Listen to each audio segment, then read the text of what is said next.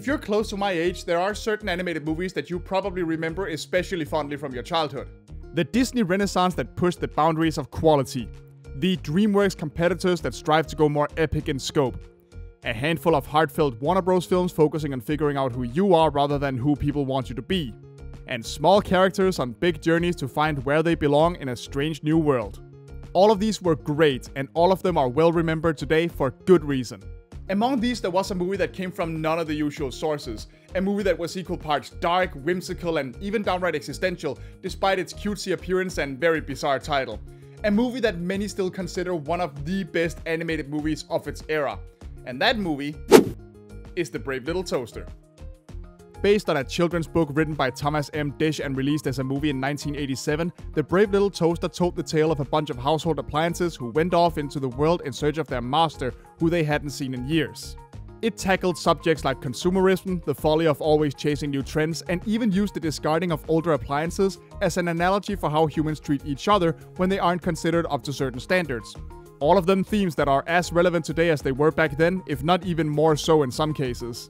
While production started at Disney, who did provide the funds, the film was produced at Hyperion Pictures by a smaller group of animators on a tight budget, many of which would later become the cornerstones of Pixar. It was a movie meant to shake things up and show people that those wacky, cutesy cartoon characters could do more than just go on amusing little musical misadventures. So of course Disney then bought the distribution rights and spat out two direct-to-video sequels 10 years later, because as we all know that's just a straight line to success. Yeah, The Brave Little Toaster has sequels, and if you thought the idea of a toaster traveling across the states on an office chair dragged by a vacuum cleaner to basically find God was bizarre, then you have no idea what you're in for. Now, I didn't see these sequels as a kid. I didn't even know they existed until I was already an adult, so I figured I had to check them out, and quite frankly, I would like to go back to blissful ignorance. Not because they're necessarily the worst kids' movies ever or anything, far from it, but because they leave me with such a big feeling of why? But, oh well, I can't stall any longer. Let's take a look at the first sequel, The Brave Little Toaster to the Rescue, released in 1997. Or was that 1998? Alright, hold on a second. I'm gonna stall a little bit just to clear this one up. To make it as brief as I can, the two sequels, Brave Little Toaster to the Rescue and Brave Little Toaster Goes to Mars, were produced back to back, with the second film to the rescue released in 1997. Everywhere but North America, who got it two years later for God knows what reason. As a result, the Rescue was released after Goes to Mars and created decades of confusion in the process. Alright, is everybody caught up? Nobody needs me to repeat any of that? Because if it means I don't have to watch this thing again, I will. Ah, uh, okay, fine. Here we go. It's some time after the first movie, and Rob and his girlfriend Chris are about to graduate from college. Rob is studying to be a veterinarian, while Chris apparently just kind of hangs out because the writers didn't consider her enough of an actual character for her major to matter. That's a good sign. The appliances are mainly kept at the lab, with only Lamp being kept at the dorm room. But it's alright, he still has an easy time hanging out with the rest of the gang every day, because apparently he can now outrun a car! In broad daylight! In front of people! This is the same desk lamp that had to ride an office chair that was being dragged around by a vacuum cleaner powered by a car battery, by the way. I guess he's been hitting the gym. Of course, this means we get to meet a bunch of new animal friends that Rob is treating. There's Ratso the rat, Macy the cat with her new kittens, Alberto the chihuahua, Sebastian the rescued lab monkey, and Murgatroyd the spittle snake. Absolutely positively correct, Ratso. Wait, I'm, I'm confused. If your snake is leaking, should you visit the vet or the venereologist? Apparently, they also have a pretty active life whenever Rob isn't around, considering they threw a party and had to spend a whole boring musical sequence cleaning it up. Because, well, the first movie started with a cleanup scene, so why not this one too?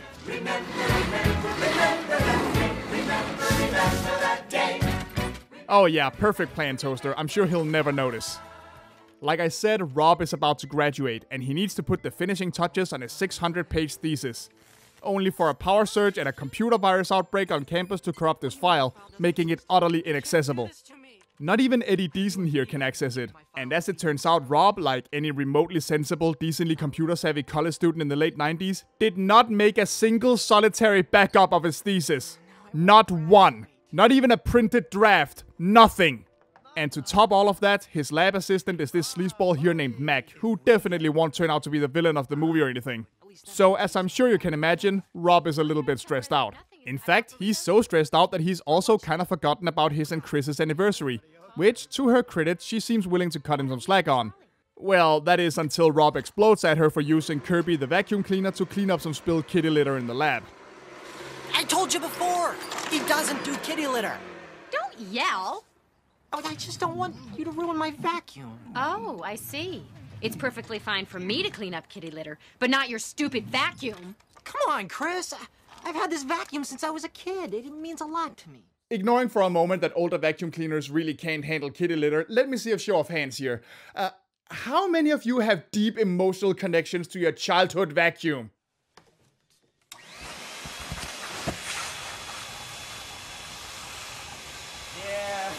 I said childhood vacuum, you perverts.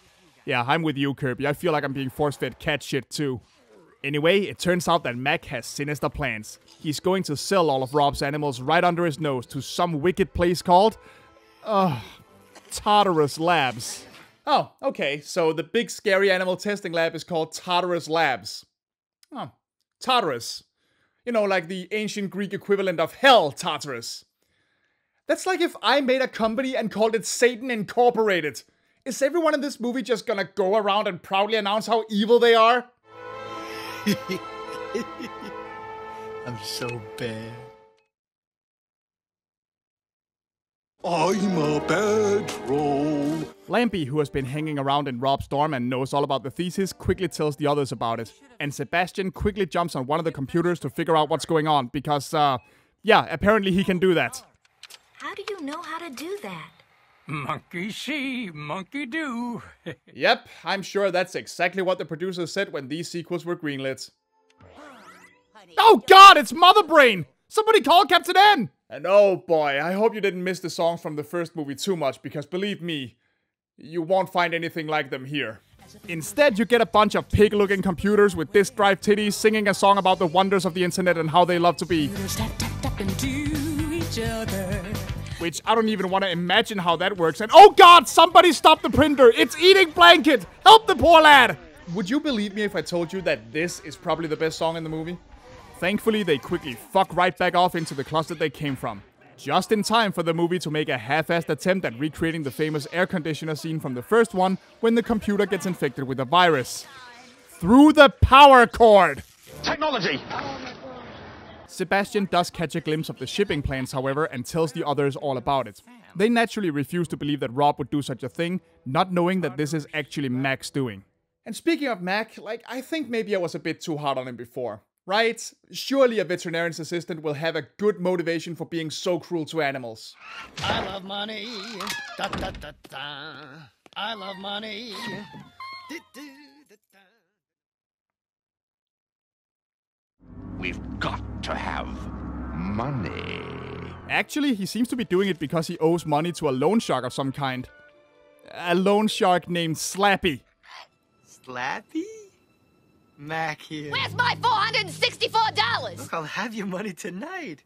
I swear. Anyway, it's starting to become clear that something funny is going on at the college, and Ratso tells the other appliances about some weird noises he's heard in the basement. So all of the appliances follow him down there, except Kirby who's too big and stays behind to look after the animals. And I gotta say, when Mac comes in, Kirby does a pretty bang up job at just that. Man, imagine calling your loan shark and telling him you can't pay him back today because you got your ass kicked by a vacuum cleaner from the 50s. Unfortunately, Mac eventually manages to trap Kirby in the closet and can proceed with his plans unhindered. In the meantime, the appliances and Ratso find the source of the computer virus. An old vacuum tube computer named Wittgenstein who used to be cutting edge but has now been abandoned in the college basement. How long have you been down here? Four trillion nine hundred ninety-nine billion four hundred fifty million eight hundred fifty-two thousand three hundred twelve nanoseconds. So, about 80 minutes? Ever since that awful day when, when, when transistors were invented. So, since 1947? Man, you are malfunctioning. I glistened and gleamed for a while. Back then it seemed I would go on forever in my prime. Oh, good. Now he's getting a song where we can really see him getting eaten from the inside out by disease. Chop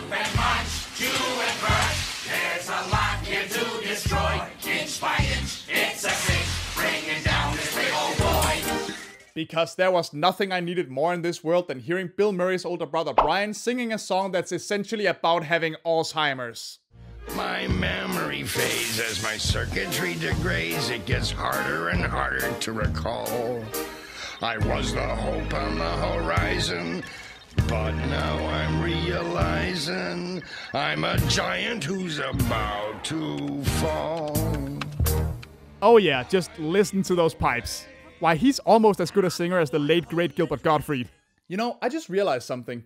This is a song being sung by an old man who's slowly marching towards death, thinking back to his glory days and how he's now been discarded because the world considers him useless. That means that this. Chop and munch, chew and crunch. There's a lot here to destroy. Is this movie's equivalent to Worthless? You know, the most famous and heartbreaking song from the original, where all the cars stare death in the face, knowing that no one has cared about them or their accomplishments for years and never will again.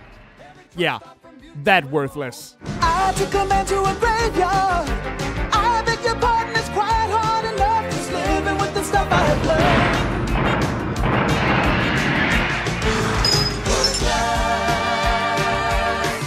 Yeah, those, uh, those are some big shoes to fill. I'm searching, expecting, exploring, connecting, so no one has to feel they're left behind. And you can't. So yeah, Wittgenstein has a virus, and his attempts at warning Rob about Mac's plans to sell the animals has resulted in it spreading to the entire school. And all of this is because some genius decided that this discontinued, obsolete tube computer from the 70s that isn't even in use desperately needed to be hooked up to the internet. Sure, whatever, fine. However, the virus is so severe that it's actually shorting out Wittgenstein's tubes, which is something he's entirely too eager to show off. Wow! Tube City. Makes me all tingly inside. Whoa, whoa, radio. Uh, far be it from me to judge your taste in men, but could you maybe be a little bit less excited about essentially giving an old man a rectal exam? It turns out that Wittgenstein's main power tube, which is the exact same one that radio uses, is about to burn out, and it's pretty rare and hard to replace.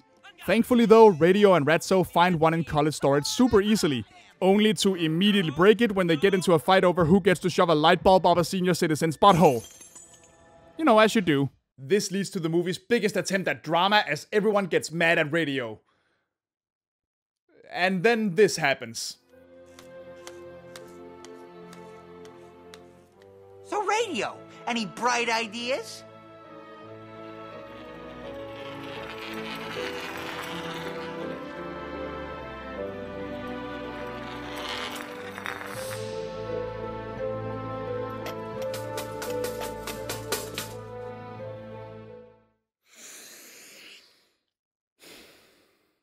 Okay, look. I kind of get where they're going here. Radio can be an attention whore and a glory hound. And this time those bad qualities got the better of him, and now he and his friends may have to pay the price for it. This all sounds fine. But all it does is add a few minutes to the runtime where Ratso and Radio run around in a storage unit and face no difficulties doing so. Why would you establish that this item is so rare if there's one just readily available a few rooms away, only to then destroy it immediately after? We could have had Radio realizing that his tube is the same kind that Wittgenstein uses, but refusing to give it up because of a very understandable fear of death. Then, as the final hour started approaching and Wittgenstein got closer to burning out, he could choose to give it to him anyway.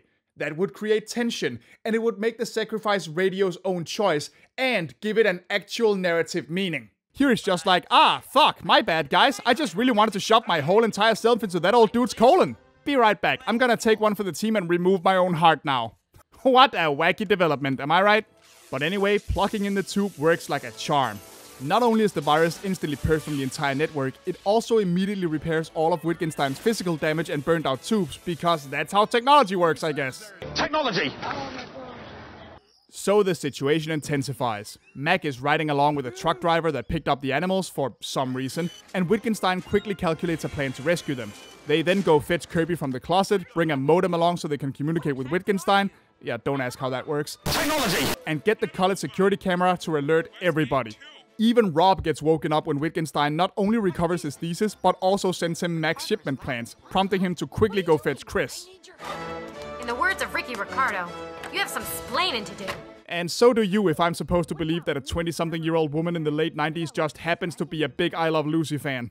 I don't know, maybe she's studying television and media history or something. It sure would be nice if there was a single line of dialogue in this whole goddamn movie that cared enough about the girl to tell us these things. So you'd think the appliances actually get to save the day or something, right? Well, not really. Because of the bad guy's reckless driving, Murgatroyd's terrarium shatters, and since they didn't actually close the storage window and Rob apparently never defanged Murgatroyd, the snake easily slithers in and fucks with the driver, causing the car to crash. It's a whole ass cacophony of absolute incompetence that just magically happens to work out in the good guy's favor. And just as you start to realize that the movie's title character has contributed absolutely nothing to the entire movie except for giving the occasional pep talk, Toaster manages to hold up a box for like two seconds so someone else can rescue Macy and her kittens. Character redeemed, 10 out of 10 writing, essential to the plot. And, well, that's that. Mac is arrested, Rob gets to give him an earful, all the animals are rescued, and our favorite hoarder gets all his stuff back. Well, except for the radio, who he quickly realizes is missing. But of course, going to the basement, they find both Radio and Wittgenstein, and we get our last few loose ends tied up. Rob, Chris, and their nerdy friend Charlie from earlier get the admittedly good idea to convert Wittgenstein to modern circuitry and display him at a science exhibit. Which gets Mr. White and Nerdy over here especially excited. Yeah, boy! Can't you see I'm white and nerdy? Look at me, I'm white and nerdy. So, with Rob's thesis recovered, he makes it to graduation. The news of the theft result in people being eager to adopt the lab animals, and to top it all off, he proposes to his girlfriend. Who responds like this? I'd love to marry you. It'll be so. so domestic. wow, Chris! Way to sound excited about getting married. Man, that's like if someone introduced me to their new baby and I went, "Aww, they're very alive." Even Radio gets rescued in the end because Chris manages to track down a replacement tube, which was discontinued, and rare, and expensive. And she did this on a college student budget within a few days using 1997 standard internet message boards. Yeah, sure, okay, it makes about as much sense as everything else. Like the fact that radio has apparently seen heaven. Coming this summer, an all new Don Bluth adventure. All appliances go to heaven. Close on a terrible, overly saccharine end credit song, and there you have the ending of The Brave Little Toaster does absolutely nothing for 70 minutes except pick up a fucking box that one time. The end. okay. Look, I'm not gonna deny that I've been a little bit hard on this movie. It's not without some good points. For a DTV animated sequel, the animation is overall fine, and there are some occasional moments of sweetness that remind me of the first movie. And honestly, I kind of like the idea of going from appliances to animals. The first movie was about taking a second look at how we treat each other through appliances, so why not spend the next movie interacting with creatures that we know are alive and can emote, just not in the same ways that we do? It's once you add in all this computer virus nonsense that everything starts to fall apart. There's nothing wrong with teaching children of the 90s about the internet, of course, and addressing all the specifics of how computer viruses actually work in real life wouldn't have been feasible or entertaining for a child audience, so there had to be some hand waving and simplifying. I do understand all of that. This just portrays the internet and viruses as complete magical bullcrap. This virus causes power surges, can destroy machinery, spreads through electrical wires from a computer that was built before there was a real internet, and remains entirely contained within a college campus. And somehow, all damage it causes, digital or physical, just gets magically fixed by replacing a tube. It just stretches things to their thinnest point even for the most barely awake children. And to an adult, it can be hair-pullingly frustrating. Oh, and uh, recovering Rob's thesis also does whatever this is to the other computer. Woo! That feels sorta good. My memory banks are being stroked. And by an expert. I feel something, something happening inside of me, and I can't keep it to myself any longer. Uh, do you need a minute alone or something? And I'm not saying that horrific animal testing labs and greedy assholes like Mac don't exist, because they absolutely do. But the antagonist being so one-dimensionally evil that even the fucking Care Bears would have a hard time taking them seriously doesn't exactly do the movie any favors either. It really needed to just pick one of its two themes and stick with it to stay coherent. Add some at best uninspired songs that are just there to fill out the runtime, characters that exist only to be rescued, and half the plot only happening because Rob is unforgivably stupid, and you're just sitting there baffled at how such a classic movie could spawn this thing. And the worst part is we're not even done. There's still another movie left to watch, and if you thought the idea of the toaster fighting animal abuses and computer viruses was weird, then get ready, because in the next one, they go to space. And I don't think you're ready for that. I definitely wasn't. Hey folks, thanks for watching. I was gonna cover both movies in one video, but there's just too much crazy stuff to talk about, so join me soon for part 2. Until then, if you like what you saw, don't forget to hit the like button and leave a comment. Maybe about some other odd animated movie sequels you remember. As always, special thanks go to Silvermoon Ravenwolf, Pocket Mouse, Andreas Wilsom, Warren Miller, Spatial Paladin, John G. Robertson, The Danish Penguin, John Algetz, and Thomas Jensen, as well as everyone else who supports me on Patreon. I really appreciate it, you have no idea. And if you want to support me too, you can find the links to Patreon, Ko-fi, and TeePublic in the description, along with an invite link to my Discord server, which you're more than welcome to join. Don't forget to subscribe if you're new to the channel, and stick around for the next Toaster adventure. Where the gang goes to Mars. No, I'm not making that up.